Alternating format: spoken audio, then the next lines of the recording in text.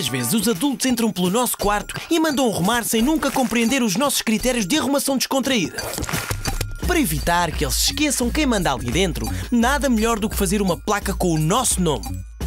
Os materiais necessários são espuma branca, amarela e vermelha, lápis, marcador preto, tesoura e cola.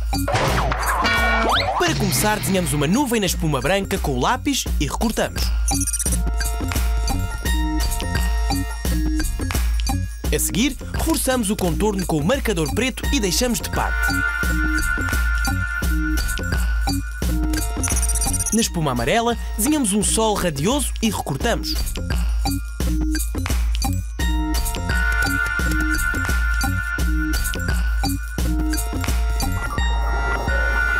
Forçamos o contorno como fizemos com a nuvem e aproveitamos para desenhar um rosto bem sorridente.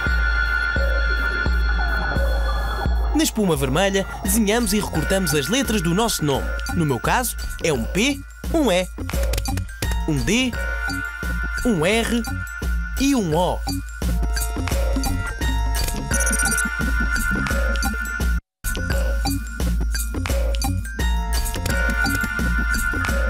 Para terminar, é só colar os elementos todos em cima da nuvem de forma bem artística.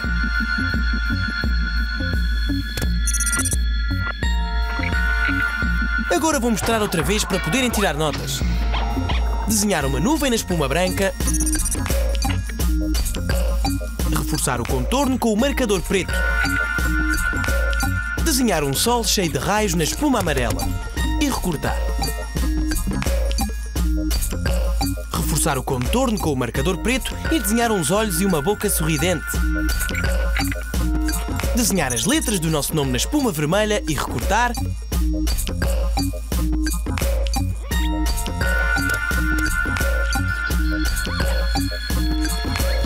Terminar colando o sol e o nome em cima da nuvem e pendurar na porta do quarto.